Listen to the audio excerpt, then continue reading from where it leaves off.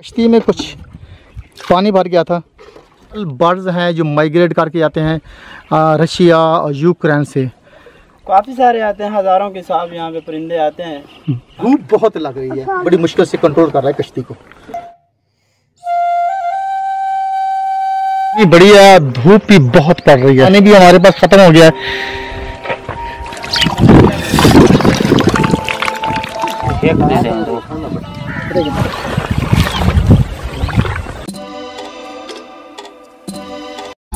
More carrots. Don't tear it. रास्ता देख रहे हैं ये जंगलात में से आ रहा है रास्ता। तो यहाँ से हमने सफ़र किया है तकरीबन 10 किलोमीटर। तो एक झील पे जा रहे हैं। हमने देखा कि जंगल में एक बिल्कुल हैंड पंप लगा हुआ था। इसका पानी पीने का बहुत ज़बरदस्त है। लेकिन बर्तन नहीं है। लेकिन इसने ये काट के ये ये लटकाया हुआ है। बोतल। पानी पीने के लिए। क्योंकि ये कोई भी जो है ना बोतल काट के लटकाई गई है वहाँ पे। और पानी पी के देखते हैं। अल्लाह।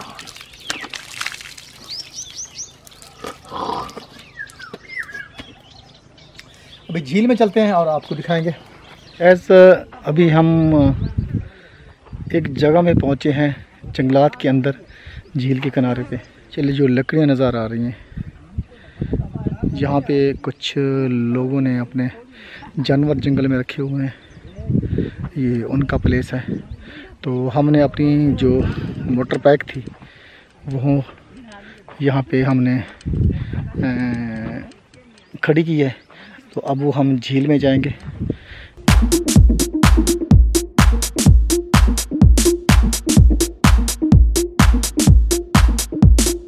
वो झील के अंदर जाने वाले हैं।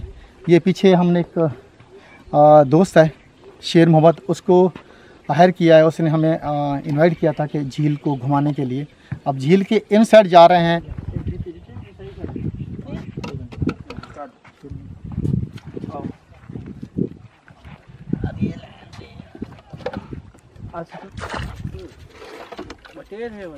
अभी कश्ती में कुछ पानी भर गया था। तो वो वो पानी निकाल रहे हैं ताकि इसके अंदर जाए तो क्योंकि छोटी सी कश्ती है यहाँ पे बड़ी कश्ती की जगह नहीं है क्योंकि इर्द गिर्द जो है ना बहुत सारी झाड़ियाँ हैं।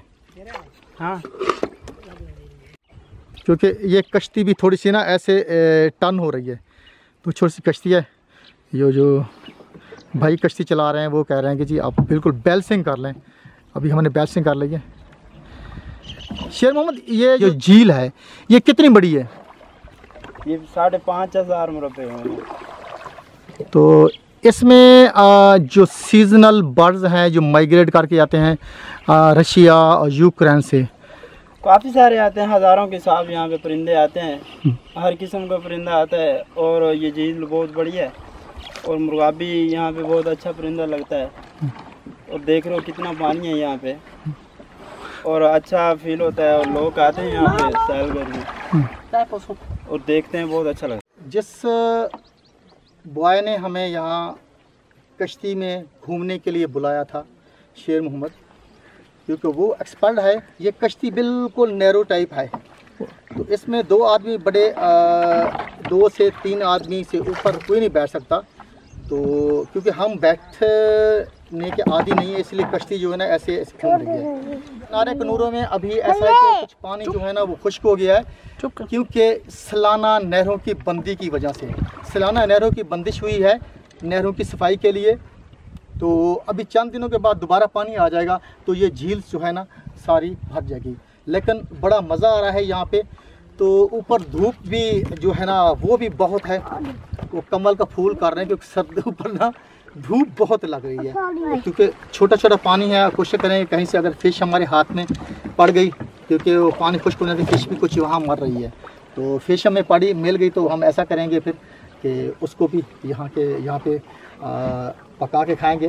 निकलते हैं बाहर क्योंकि धूप बहुत तेज़ हो रही है और टेम्परेचर लगता है कि बहुत हाई हो गया है। और वैसे हमसे कश्ती में बैठा नहीं जा सकता। वो चलाने वाला जो है ना वो बेचारा हम बड़ी मुश्किल से कंट्रोल कर रहा है कश्ती को।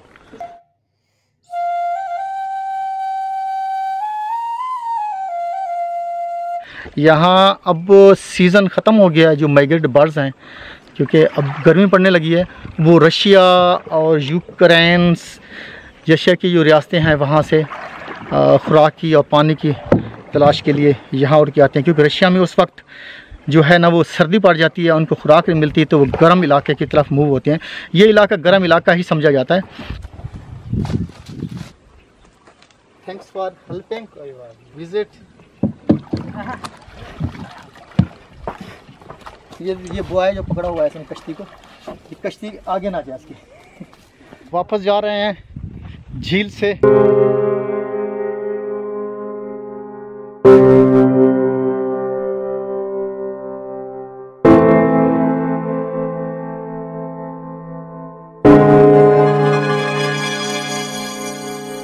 बढ़िया है धूप भी बहुत पड़ रही है। अभी जो हमारा रास्ता है जहाँ हमने जाना है तकरीबन मेरे लगता है कि ऐसे आधा किलोमीटर होगा तकरीबन यस आधा किलोमीटर। तो वहाँ हमारी बाइक खड़ी हुई है। अब बाइक पे पहुँचेंगे तो वहाँ पानी का इंतज़ाम होगा। पानी भी हमारे पास ख़त्म हो गया है। झील पे बैठना है। झील का पानी तो पीने का काबिल ही नहीं था। क्योंकि उसमें वो वाटर जो चीज़ें पानी में डाल पाई जाती हैं नेचुरल वो छोटी छोटी चीज़ें थी उनके लिए वो पीने के काबिल नहीं था। ये सब देख रहे हैं जंगलात हैं। और इस साइड में भी एक छोटा सा रास्ता जा रहा है और इस रास्ते के ऊपर हम जा रहे हैं। उस जगह पे अ, हमने खड़ी की थी। वहाँ हैंड पंप है वहाँ पानी पियेंगे। तो फिर नेक्स्ट प्रोग्राम देखते हैं कि क्या बनता है। ये आप खैर से हैंड पंप पे पहुँच गए हैं। ये हैंड पंप है तो यहाँ लगा हुआ। इसका पानी बहुत मीठा है। अभी यहाँ पे पानी पियेंगे। कलवर कलवर यहाँ पे।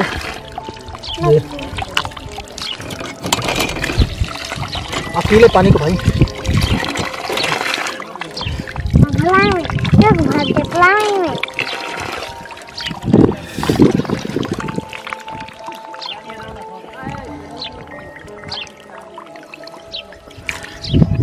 这得卖去了，卖去了。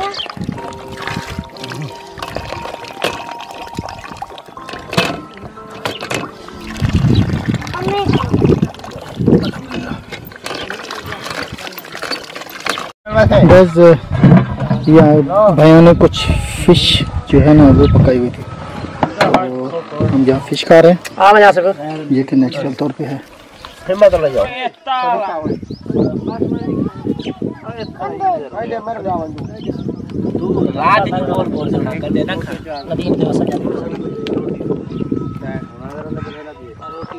ना ना रोटे फैल ढेर है नेक्स्ट टाइम